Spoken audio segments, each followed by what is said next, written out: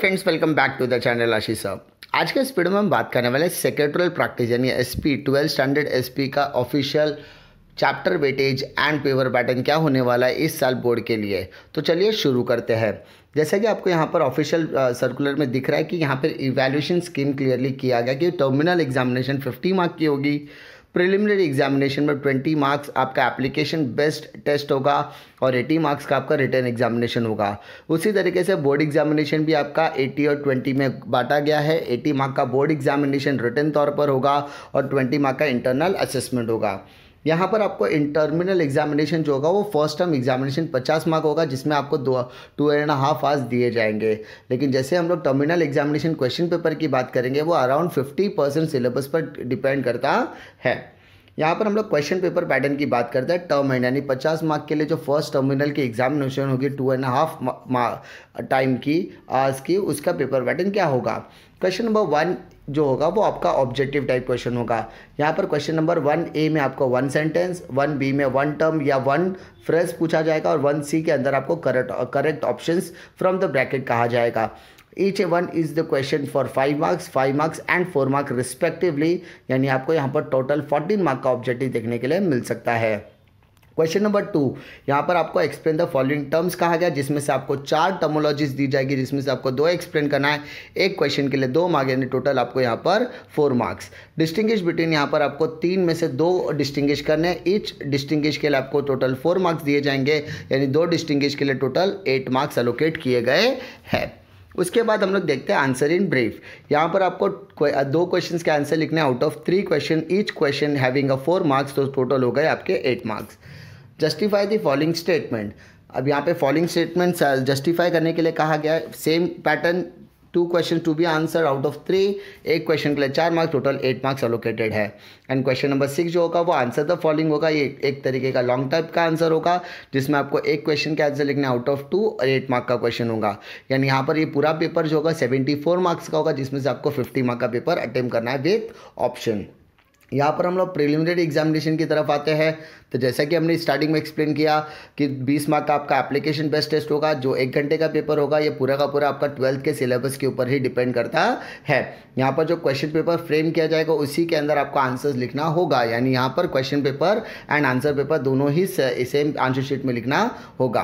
Return examination की अगर हम बात करते हैं तो 80 मार्क का पेपर होगा तीन घंटे का पेपर। पूरा सिलेबस इसमें कवर किया जाएगा। पेपर सेटर को क्लियरली कहा गया है कि जो यूनिट वाइज या जो चैप्टर वाइज वेटेज हमने कहा है, उसी हिसाब से आपको पेपर सेट करना है। यहाँ पे जो पेपर सेटर होगा, उससे एक्सपेक्ट किया जाता है कि हर क्वेश्चन पेपर के आप क्या कीजिए एज अ मॉडल आंसर भी ब्लू तैयार कीजिए, ताकि वो इवेल्यूशन के लिए आपके लिए भी ईजी हो और बच्चों को भी उसके आंसर्स का पता जल्दी चल जाए। उसके बाद बोर्ड एग्जामिनेशन की बात की जाए तो सेम पैटर्न यहाँ पर भी अप्लाई किया जाएगा।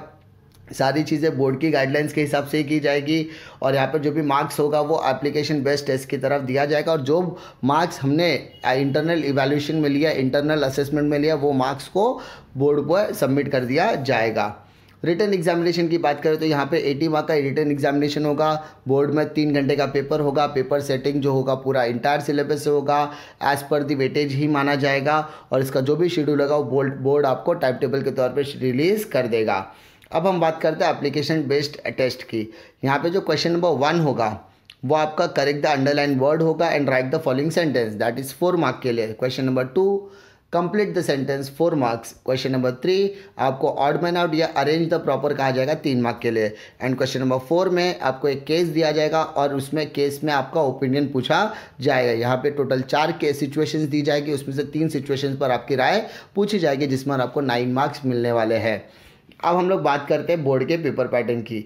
जैसा कि आप सभी को पता है प्रिलिमिनरी और बोर्ड के पेपर पैटर्न ऑलमोस्ट सेम ही होते हैं, दोनों से, क्योंकि जो प्रीलिम्स के एग्जामिनेशन होते हैं, वो बोर्ड एग्जामिनेशन की प्रिपरेटरी एग्जामिनेशन होती है। यहाँ पर पूरा पेपर पैटर्न मैंने ऑलरेडी आपको एक्सप्लेन किया हुआ है, इसीलिए मैं ज़्यादा ज़्यादा डिटेल में नहीं जाऊँगा। यहाँ पर आपको क्वेश्चन नंबर वन जो होगा ऑब्जेक्टिव टाइप के क्वेश्चन होंगे, जहाँ पर आपको A B C D E F G H I J इसमें से कोई भी चार क्वेश्चन देखने के लिए मिल सकते हैं। वो चार क्वेश्चन अल्टीमेटली कौन सा होगा, वो अभी तक डिक्लेयर नहीं किया गया है। लेकिन यहाँ पर आपको कोई चार क्वेश्चन ही पूछे जाएँगे। Question number two following the concept है टोटल चार क्वेश्चन छः में से आपको चार क्वेश्चन का आंसर लिखने हैं। क्वेश्चन नंबर थ्री के अंदर आपको सिचुएशंस दिया जाएगा और उस पर आपको ओपिनियन पूछा जाएगा। तीन तीन सिचुएशन में से दो ओपिनियन देने पर आपको दस मार्क्स मिलने वाले हैं। क्वेश्चन नंबर फोर में आपको डिस्टिंग्विश बिटवीन होगा। यहाँ पर आपको टोटल चार क्वेश्चंस पूछे जाएँगे जिसमें से तीन के आंसर्स आपको लिखने होंगे। इसके बाद यहाँ पर question number five answer in brief होगा। You have to answer two question out of three question number six justify the following statement you have to answer two out of four question attempt the following a letter writing होगा। जैसा कि मैंने आपको पहले भी paper pattern में बताया कि क्वेश्चन नंबर सेवन जो होता है, वो स्पेशली लेटर राइटिंग के लिए होता है, जहाँ पर डिपॉजिटर्स या डिबेंचर होल्डर से रिलेटेड लेटर्स पूछे जाते हैं। जिसमें आपको दो आंसर्स लिखने होंगे आउट ऑफ़ थ्री क्वेश्चन एक क्वेश्चन के लिए पाँच मार्क तो टोटल आपको दस मार्क है और answer the following that is long answer एक क्वेश्चन का आंसर आपको लिखना है आउट ऑफ़ टू क्वेश्चन जहाँ पर एक क्वेश्चन पर आपको आठ मार्क दिया जाएगा। आई होप आपको यहाँ पर कोई डिफिकल्टी नहीं आएगी।